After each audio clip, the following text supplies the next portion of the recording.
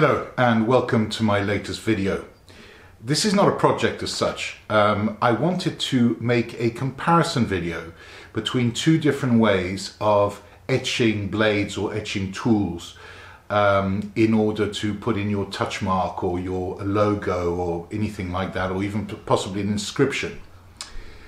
Now I've watched several videos on, on, on this subject and a very popular way of doing this among many people I've seen on YouTube is using a system called, I think it's Etch-O-Matic or Etchograph or something. Anyway, I will, I will look that up. And it's a system that involves um, a sort of UV light, uh, special transfer film and several chemicals to develop the transfer and to stabilize it, etc.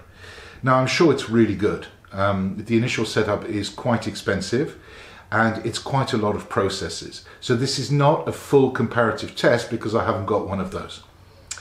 But the other two most popular ways I've seen is using vinyl transfers or using a thing like this, which is the Brother label printer, which is able to print on transfer tape, which they make.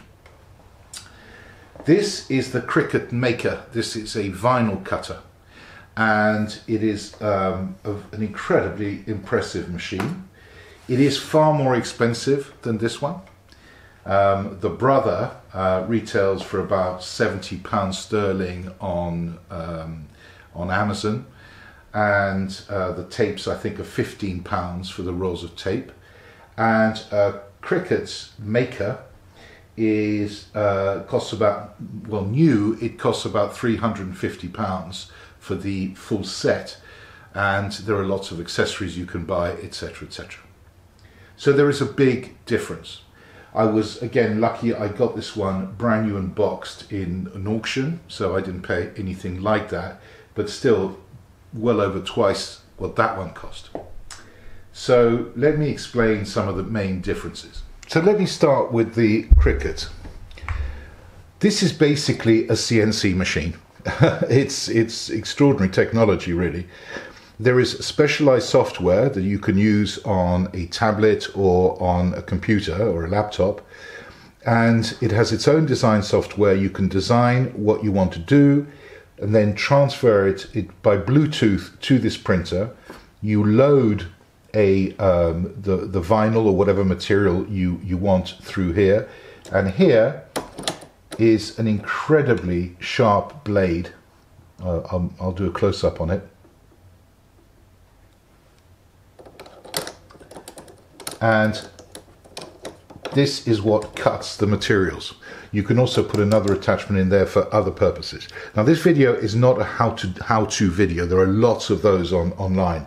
Um, I, and also, I don't know what your computer might be or what your system might be or what you want to do with it. But needless to say, it can cut an extraordinary number of materials from paper right up to leather. Um, amazingly, absolutely amazing. Um, you can also get extra deep blades for extra deep materials. Uh, a lot of people start businesses just using this Cricut to make uh, t-shirt transfers, um, decorate mugs and ceramics and blah blah blah whatnot. So it's a very very powerful machine. Okay, so this is the Brother uh, uh, P-Touch P70. It's basically a label printer. Um, people use them for um, making labels for for their shops, for products, for all kinds of things, right? And it takes this uh, 24 millimeter tape this particular cartridge is, as it says here, upside down stencil tape, which is incredibly useful. Um, it's super simple to use. Um, it creates a stencil, which again I'll show you in a second. And uh, it's economical, it's quick, it's simple. So what is the main difference? Well, what I'll do is I'll show you the actual stencils that these two machines make and you can decide from there. So for the brother, this is how the stencil tape comes out. Um, I will do a close-up to, to try and show you this more clearly. But it's basically an extremely thin, gossamer thin actually, um, piece of paper um, that you will place like this onto your piece and uh, etch. And we will do that a bit later. Now for the brother, uh, no, And now for the Cricut, um, this is how it comes out. Uh, this is the vinyl. This side of it is removable so that it's adhesive. And it is cut out enormously accurately the numbers of this date that I'm going to etch on someone's knife for their birthday. Uh, what you do is you then pick out the outlines with a special tool, which is a pick really, and then you have to make sure that the the black marks in the center of the O, the 4, and the 8, for example, stays there. And then you put a layer of vinyl, of no, of um, adhesive, transparent adhesive tape over the top so that when you actually stick it onto the blade, those centerpieces stay on. Uh, you then remove this adhesive tape and then you can etch through it. But again, that will become more obvious uh, when I do it. Now, the obvious difference is that with this tape, I can only stick down the edges. I put uh, I put masking tape around the edges to hold it down, but that will not keep it absolutely flat. And one of the big problems with that, of course, is that they will be bleeding, so the edges aren't as clean. With this one, if I do it properly, the whole thing sticks down, including the little pieces in the in the middle of the, the numbers. And so I'm likely to get a much cleaner edge, an etch. And so although I will tape around here to protect the rest of the blade, that is likely to bleed out much more. And also the other thing is this one tends to burn if the ampage of your etching power source is too high. So I think what I'm going to do is I'm going to try and do a comparative test on a piece of um, blade steel and I'll show you what the difference is. You'll see that I've masked off the, the stencil with frog tape, uh, making sure that it's as flat as possible. Um, but obviously there is a limit to how flat um, it can be. I'm going to do the other one separately so that I can use a clean cottonwood pad for each one to try and make sure that we have similar processes. Okay, so this is how I've been doing it. I take quite a big bolt, I think it's probably an M10, M12, and I, I grind the top flat um, because as you know these bolts have a, um, a sort of uh, strength indicator here, or tolerance, which is just going to leave marks.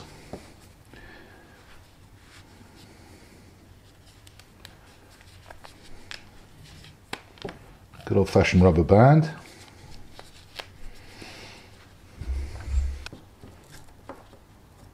Yeah, it's not very satisfactory. And the negative attaches to the bolt. This is a solution of salt water. It's basically it's very salty. It's the I've no idea what the actual measurements I should be using, but the way I do it is as long as it's a lot saltier than I would ever want to put in my mouth, I think it's going to do. And this is actually the bit that's going to etch the steel.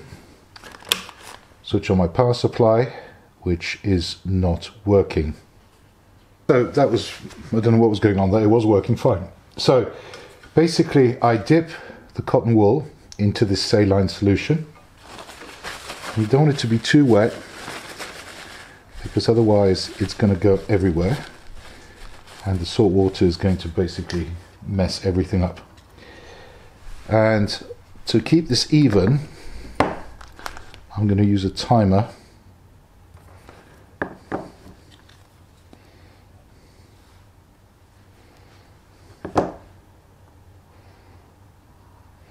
And I'm going to do it for one minute.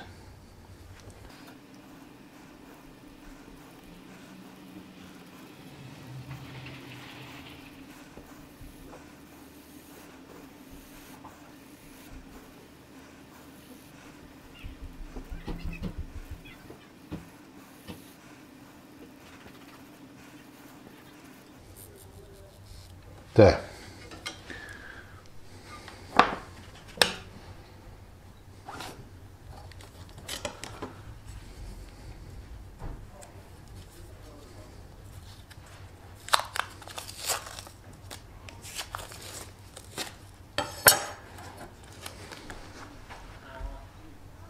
Okay, so there you can see it.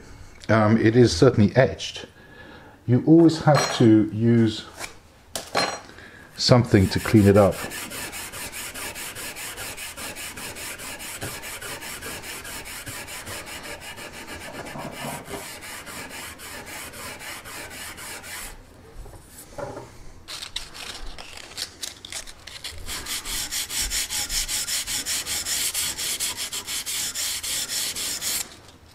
Okay, now, if you can see, it's pretty good, and I mean, I'm pretty happy with that actually.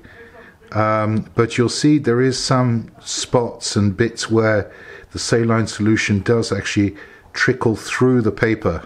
And I mean, I have to confess, this is one of the best ones I've done.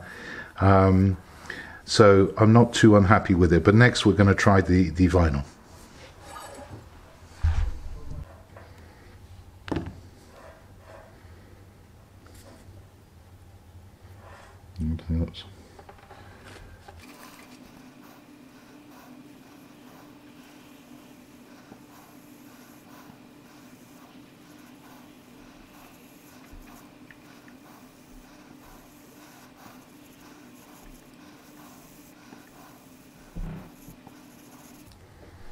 Okay, that's one minute.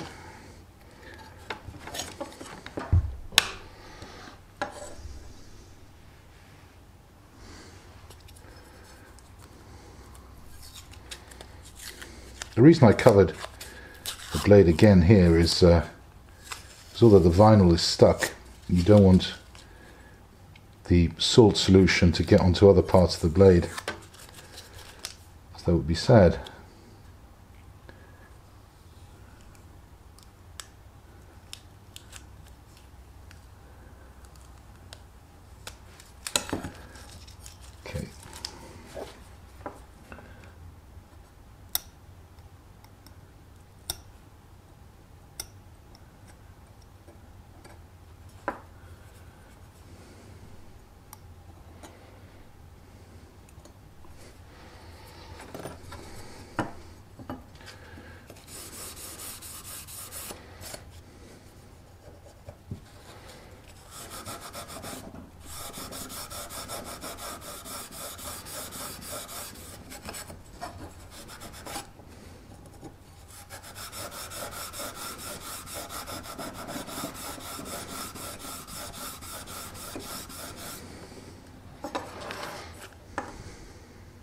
Right, I, I, hope you can see this difference. Um, they both etched really well, and, and the light makes it very difficult.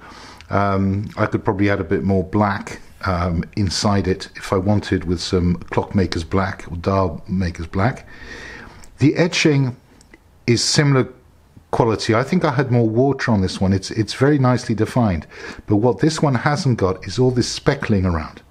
Now, you can sand that off but some of it sometimes is too deep and it gives it a sort of messy appearance. Whereas this one, there is none of that. There is literally zero speckling. So it's very, very clean. Um, so that's the basic difference between the two. And having said that, that is by far the best result I've ever had on the um, the transfer tape. Okay, so as I said, this is not an exhaustive test, all right? It's really to give you a sense of whether you want to spend the extra money on a, a, a, vinyl cutter or whether you're happy with the results I showed you with the brother. The other thing I would say, okay, there are a couple of things I want to say. The result on the brother was not bad, as you saw, but it's taken me a lot of practice to get to that, okay? And um, that is the best I've ever managed it. So it does with practice, clearly you can get the right results. And they involve the difference between how much you saturate the cotton wool, um, how long you leave it, the amount of pressure you put on. So there's loads of things involved here because ultimately that transfer paper will kind of disintegrate under too much heat, which it didn't that time because I made sure I only put it on for one minute. With the vinyl, that does not happen, or certainly not anywhere near the same extent. All right, so that's worth bearing in mind, and I think you you you you get to the right result quicker with the vinyl. That's my opinion. Okay. The other thing is this machine can do so much more. Okay, if you want to do T-shirt transfers, mugs, all kinds of stuff. Um, it's not my bag, but it is a big deal that this machine can do an extraordinary amount of stuff. And just maybe go and look at their website. So it's a personal choice and it's a budget choice. Um, so there you have it, and I hope that's been useful to some people. I will link in this video to a, a video where I used the brother in anger, so to speak, where I was making a touch mark. But anyway, thanks so much for, for watching, and if you enjoyed it, as usual, please subscribe, please like, please leave me a comment. Thank you so much.